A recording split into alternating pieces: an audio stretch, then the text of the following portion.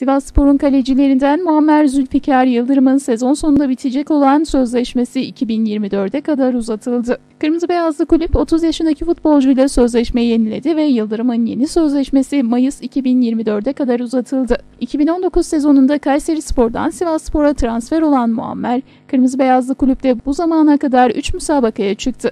Muammer, Sivas Spor kariyerinde toplamda 226 dakika kırmızı beyazlı formayı giydi.